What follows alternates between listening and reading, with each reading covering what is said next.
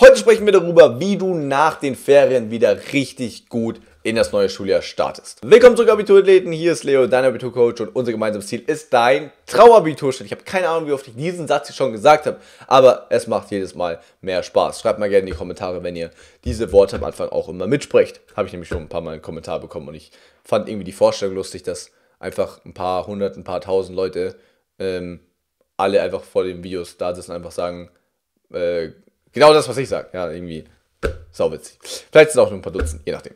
Ähm, genau.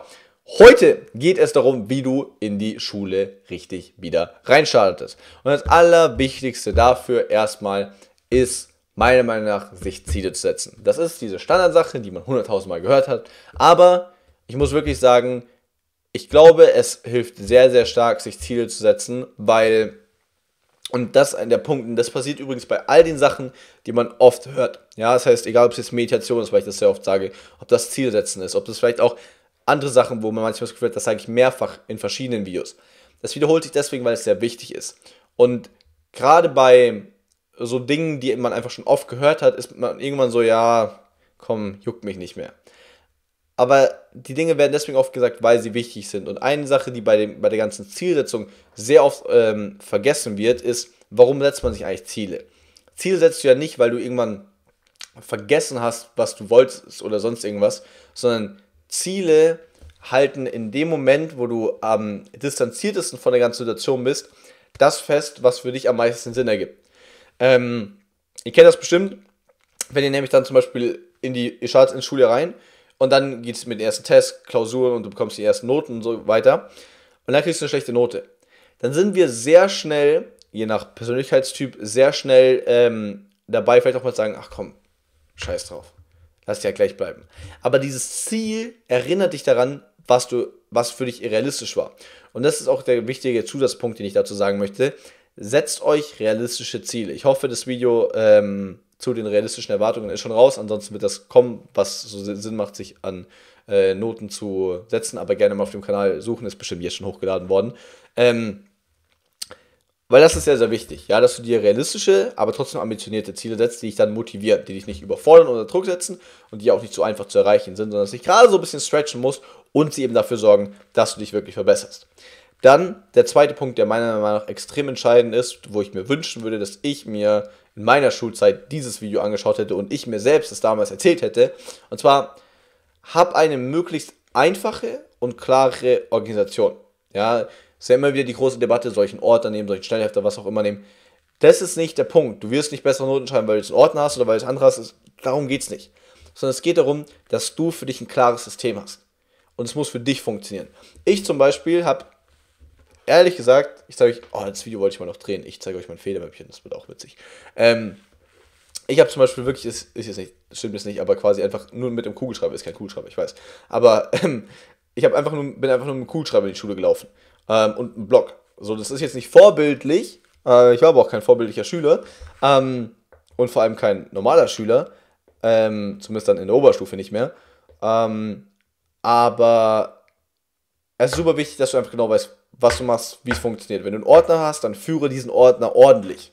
Ja, führe den Ordner ordentlich. Wenn du einen Block hast, dann führe den ordentlich. Egal wie du es machst, mach es immer auf die gleiche Art und Weise, wie es funktioniert. Und lass dir dann auch nicht mitten im Schuljahr einreden, also ich habe das so und so gehandhabt und es war viel, viel besser und dann schmeißt du alles wieder um.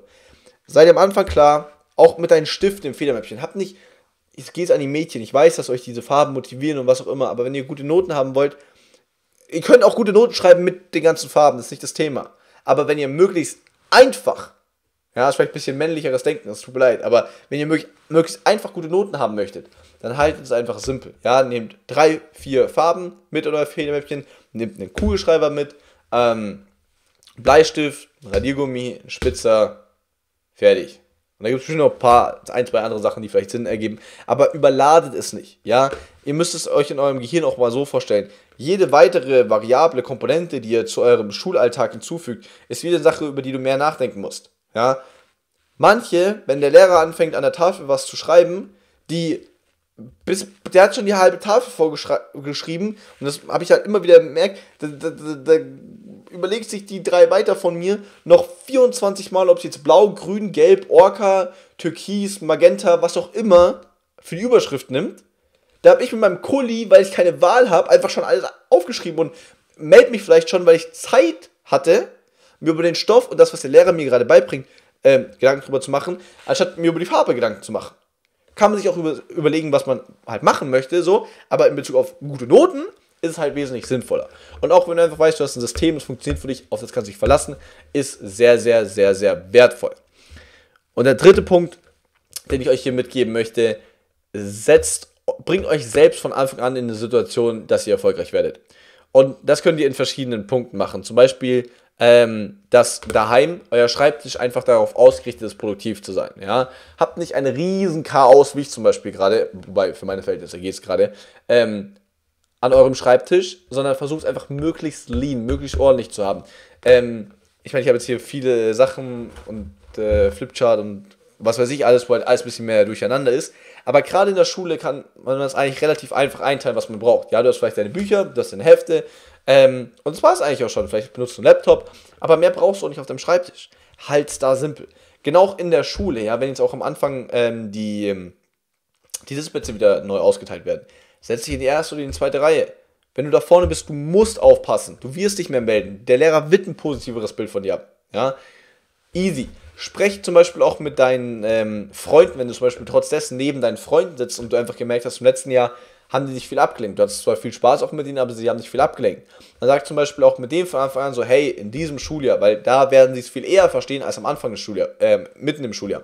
Sag am Anfang auch gleich, hey, ähm, pass auf, X und Y, ähm, ist immer saugeil, was wir so in den Stunden machen. Ich würde mich dieses Jahr echt gern ähm, auf meine Noten konzentrieren. Wir können in der Pause schmarrn machen, wir können uns ähm, nach der Schule, vor der Schule treffen und so weiter. Ähm, nur innerhalb der Stunde würde ich mich voll gerne ähm, einfach auf den Unterricht konzentrieren. Ähm, wenn sie richtig, echte Freunde sind, werden sie es auch voll verstehen und auch respektieren. ich habe mich zum Beispiel auch irgendwann halt mitten im Schuljahr, da kam es für manche nicht so cool rüber, aber ich habe mich irgendwann entschieden, ich setze mich jetzt überall allein in die erste Reihe. Das hat einen riesen Unterschied in Bezug auf meine Noten gemacht.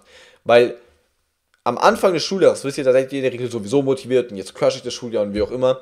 Und wenn du diese Anfangsmotivation nutzt, um dich in eine Position zu bringen, sei das durch einen ordentlichen Schreibtisch, sei das durch das System, was funktioniert, sei das durch die erste Reihe, hast du automatisch dafür gesorgt, dass du auch in, an jedem weiteren Schultag, der kommen wird, unabhängig davon, ob du jetzt ein gutes Gefühl hast oder nicht, ob du motiviert bist oder nicht, du ein System für dich geschaffen hast, was dafür sorgt, dass du erfolgreich bist weil du einen ordentlichen äh, Schreibtisch hast, wo du automatisch nichts anderes machen kannst, als zu lernen zum Beispiel.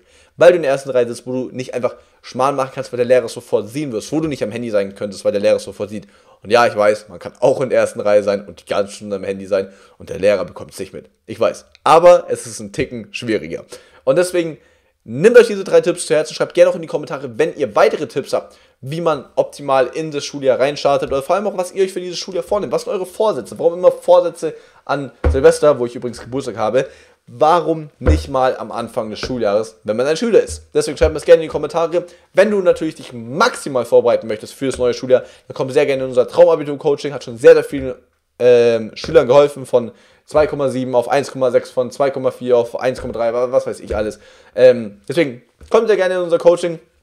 Wir werden ähm, natürlich ausselektieren, aber diejenigen, die es wirklich wollen und die geeignet sind, die sind herzlich willkommen. Deswegen erster Link in der YouTube-Beschreibung. Ich freue mich darauf und ansonsten denkt dran, ich glaube nicht. Wir sehen uns im nächsten Video. Dein Leo.